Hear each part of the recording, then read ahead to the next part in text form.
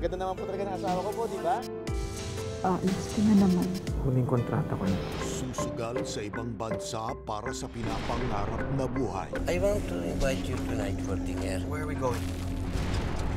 Ah, ah, Ngunit paano kung gumuho ang lahat sa isang igla? Si Benjamin Alves ay si Eldon at susubukin ang kanyang katatagan dahil sa pag-ibig.